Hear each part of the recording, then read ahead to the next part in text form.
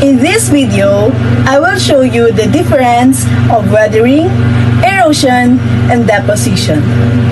Second, how weathering, erosion, and deposition occur. And lastly, what are the agents and result of weathering, erosion, and deposition? Earth's surface is covered by rocks. These rocks undergo series of geologic process known as the exogenic process. This includes weathering, erosion, and deposition. Now, how are these three processes connected?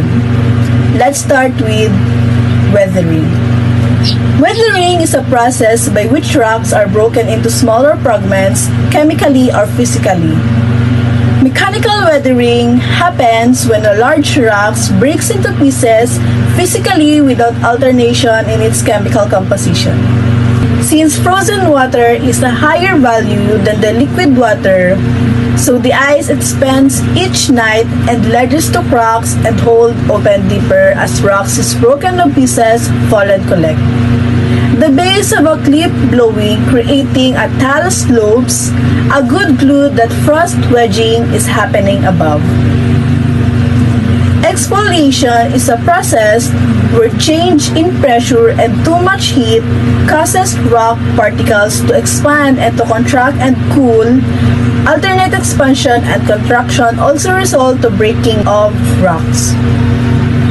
Chemical weathering requires chemical reaction between rocks, minerals, and other substances in environment in order to break rocks.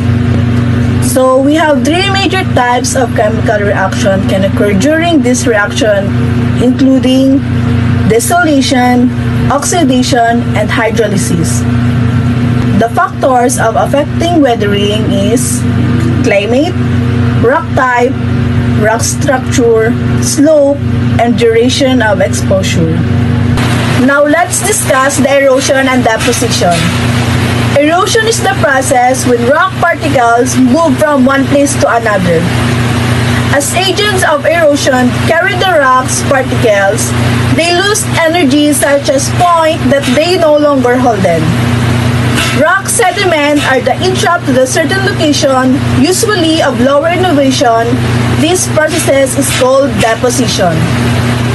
Deposition by which sediments are dropped off by agents of erosion.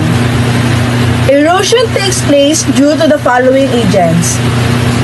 Water, wind, and lastly, the gravity. Gravity is a major force that drives erosion and deposition. The agents of erosion are water, wind, and ice or gravity. And lastly, the agents of deposition is water.